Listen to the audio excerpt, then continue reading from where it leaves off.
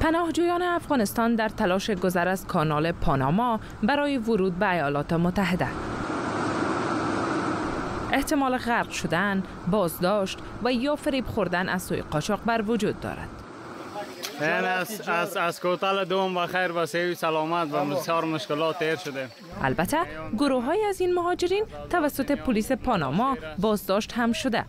یک پناهجوی از افغانستان که دو ماه قبل بازداشت شده به شرط حفظ هویتش می‌گوید در این محل در پاناما زندانی اند.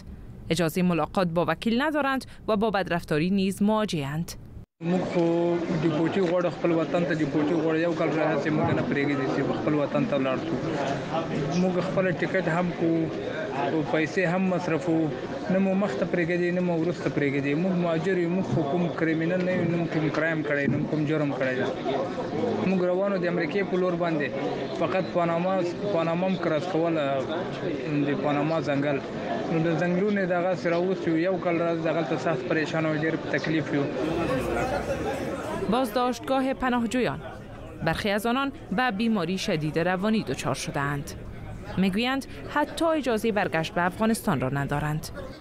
موږ سره ډیر زیاتای کې مهاجر سره بل خصوص افغانانو سره. دلته کسان دي د موږ tension پیدا شوی ورته depression لري. نو کم له کم څو کسان لیونی سوي دي بیخي. دا ظالمان موږ سره ډیر سخت بد رویه کوي. ثبت نام ویزای بشردوستانه برازیل برای تبلیغات ویزای بشردوستانه برازیل. شهروندان افغانستان با گرفتن ویزای برازیل به قاره آمریکا می آیند و از مسیر کانال پاناما به گونه غیر قانونی تلاش می کنند وارد خاک ایالات متحده شوند. سفارت های برازیل مقیم ایران و پاکستان با شرایط داشتن پاسپورت، تذکره، عکس و خرید تکت با هزینه 1000 دلار آمریکایی برای شهروندان افغانستان ویزا صادر می کند.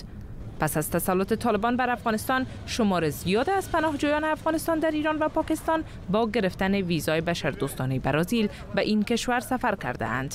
هدف نهایی بیشترشان اما ورود به خاک ایالات متحده و فرانسه است.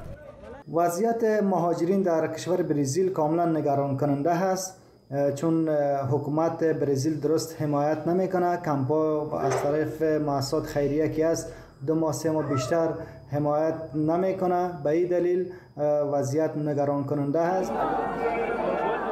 مردم به دلیل سیاست های سخت گیرانه و بدرفتاری های طالبان فقر گسترده و بیکاری در تلاش فرار از افغانستانند. هرچند خطرهای مهاجرت را می‌دانند که کم نیست.